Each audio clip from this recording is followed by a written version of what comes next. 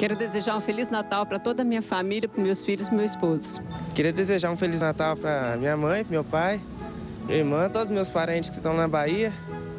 Os meus parentes estão em Catalão, em Brasília e para todo mundo que está assistindo aí.